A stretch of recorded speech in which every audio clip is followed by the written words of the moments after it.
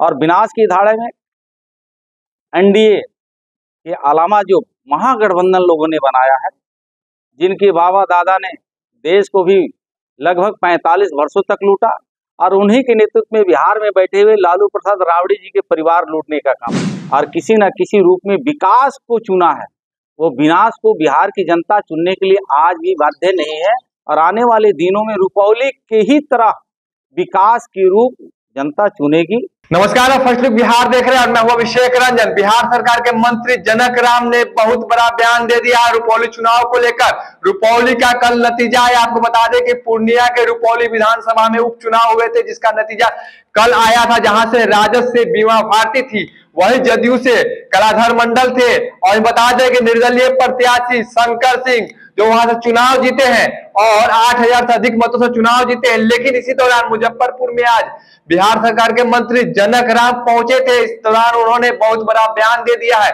उन्होंने कहा है कि जो नकारात्मक सोच रखने वाले हैं, उनकी हार हुई है। और जो उम्मीदवार जीते हैं, वो एनडीए की सोच रखने वाले व्यक्ति है, वो चुनाव जीते हैं। रुपौली की जनता ने यह साबित कर दिया है कि ये जो चुनाव है, वो चुनाव नकारात्मक सोच वाले की हार है और जो विकास करने वाले हैं, चाहे बिहार में बात करें तो सीएम नीतीश कुमार नेतृत्व में लगातार विकास हो रही है। वहीं देश की बात करें तो नरेंद्र मोदी के नेतृत्व में लगातार विकास हो रही है। लेकिन जो इंडिया अलायंस है, उन सभी के सोच रखने वाले व्यक्ति उनकी हार हुई है। तो ये साबित करें, बहुत सारी बातें। जनक राम, जो बिहार सरकार के मंत्री है, अनुसूचित जनजाति विभाग से मंत्री है, उन्होंने बहुत सारी बातें कही है। पहले आप वो सुनिए। देखिए, दो धड़ा देश में काम कर रहा है। एक विकास की धड़ा है, एक विनाश की धड़ा है। विकास की धड़ा में बिहार के नेता नीतीश कुमार जी हैं, देश का नेता नरेंद्र मोदी जी। और विनाश की धाड़े में एनडीए के अलावा जो महागठबंधन लोगों ने बनाया है, जिनके बाबा दादा ने देश को भी लगभग 45 वर्षों तक लूटा और उन्हीं के नेतृत्व में बिहार में बैठे हुए लालू प्रसाद रावड़ी जी के परिवार लूटने का काम किया। तो जो आपने रुपौली की चर्चा किया है, रुपौली एनडीए की जीत है, महागठबंधन की हार है, वहाँ महागठबंधन के नेताओं को नकार है जनता। एनडीए की जीत इस मामले में है, वो सीट एनडीए की थी जिन व्यक्ति ने वहाँ अपने आप को साबित करते थे बाहुबलियों के रूप में, वो बाहुबलियों को धाराशाही वहाँ की जनता ने किया है। और किसी न किसी रूप में विकास को चुना है। वो विनाश को बिहार की जनता चुनने के लिए आज भी बाध्य नहीं है और आने वाले दिनों में रुपौली के ही तरह विकास की रूप जनता चुनेगी।